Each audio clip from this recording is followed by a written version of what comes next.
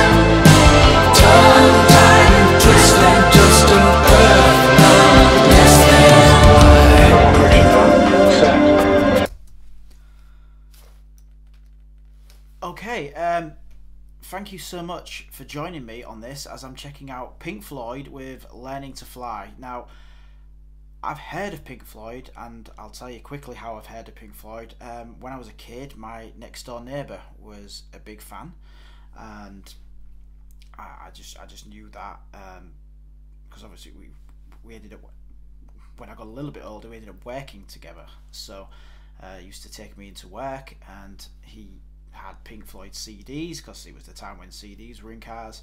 And but I never I never listened to them. To me, it was the sort of music that grown-ups would listen to and it wasn't my generation and I, I just never listened to them but I'd, I'd always heard of the band so I love this it's it's mesmerizing and I love that kind of that slow pulsing beat through this one that's going all the way through it and you know you add the insane guitar riff that's going on as well and his voice is incredible I'm starting to feel like I have become that grown up who needs to be listening to this music, and I am eager to get back to it. So I'm going to knock it back a fraction.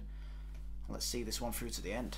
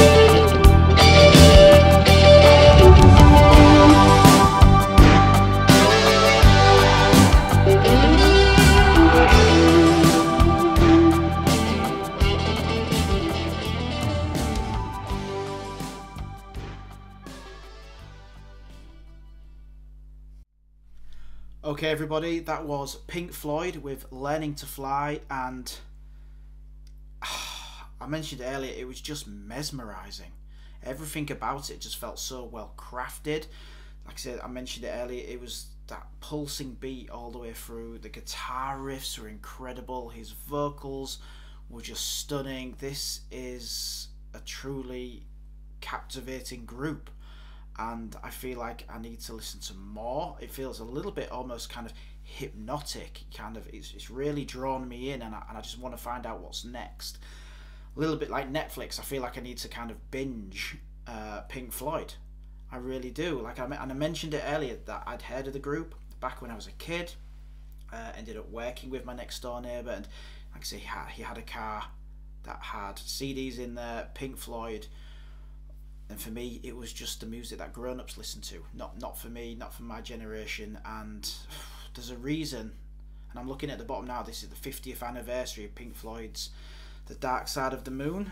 Um, I'm assuming that's an album or a tour that they may have done. Uh, but 50 year anniversary of it. You, you can't think I I cannot name an artist now.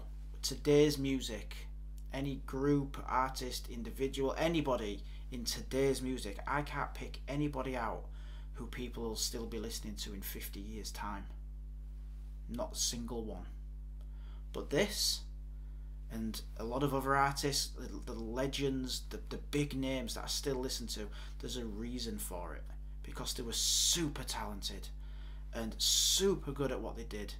And yeah, I, I, I need to become, well, I am now that adult that now leads to listen to Pink Floyd and take in this music because it's great and I'm eager for more.